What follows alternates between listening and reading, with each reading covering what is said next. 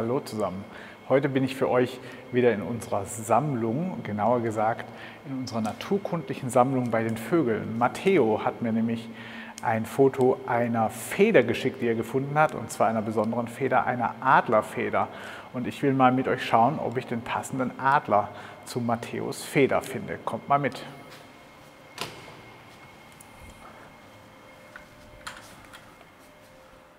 Unsere Präparatorin, die Daniela, hat unsere Adler hier gerade aufgebaut, weil die sowieso fotografiert werden sollten für unsere Online-Sammlung. Und jetzt kann ich mit meinem Meterstab für dich, Matteo, mal hier rangehen an unsere Adler und gucken, was denn von der Größe zu deiner Feder passen würde. Das hier ist der größte Adler, den es in Deutschland gibt, der Seeadler. Und ich kann mal versuchen, den hier zu messen. Und es ist ein bisschen schwierig zu gucken, wo die Feder anfängt. Aber wir sind hier so bei 26 cm oder größer, also das ist größer als das, was du gefunden hast. Und beim Messen fällt mir gerade auch auf, die Feder ist weiß. Also der Seeadler hat eine weiße Schwanzfeder und deine Matteo hat ja Streifen. Also schauen wir mal einfach zum nächsten Adler. Das ist ein Schreiadler und der ist ein bisschen kleiner oder einiges kleiner als der Seeadler und ich gehe hier nochmal ran. Ja, der könnte von der Länge her zu Matthäus Feder passen. Und jetzt gucken wir uns den nochmal wieder an, wie beim Seeadler. Der hat hier so eine weiße Spitze und ja, auch leider keine so richtig schönen Streifen ähm, wie Matthäus Feder. Also kommt jetzt Adler Nummer 3. Adler Nummer 3 ist der Steinadler. Den könnt ihr sehen, wenn ihr zum Beispiel in den Alpen mal Urlaub macht.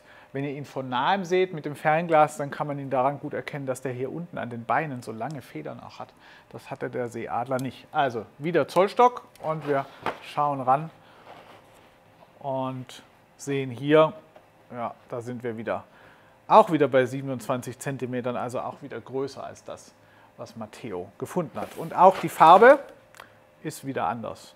Hier oben ein großer, eine große weiße Binde und hier unten dunkel am Schwanz. Also die Adler haben nicht gepasst, dann habe ich gedacht, wir schauen einfach mal hier im nächsten Gang bei anderen Greifvögeln. Es könnte ja auch eine andere Greifvogelart gewesen sein. Und ich schaue mir den hier mal an. Das ist auch ein großer Greifvogel. Das ist der Rotmilan. Vielleicht habt ihr den schon mal gesehen auch. Und ich halte hier mal meinen Zollstock dran und sehe, ah, der ist auch wieder größer. Der hat Schwanzfedern, die sind über 30 cm lang und die sind auch ein bisschen spitz zulaufend. Daran kann man den Milan ganz gut erkennen. Der hat so einen gegabelten Schwanz, wenn man den fliegen sieht.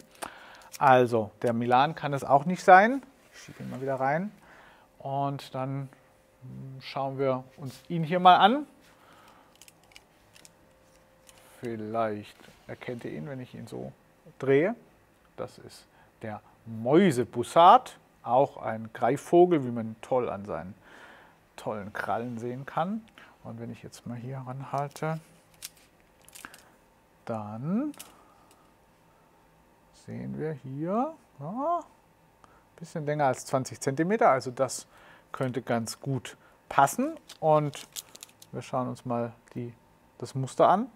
Auch das ist so schön gestreift wie, das, wie die Feder von Matteo. Also ich würde sagen, das passt ganz gut.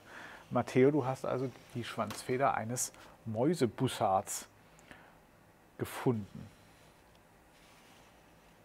Matteo, ich hoffe, ich konnte deine Frage damit gut beantworten.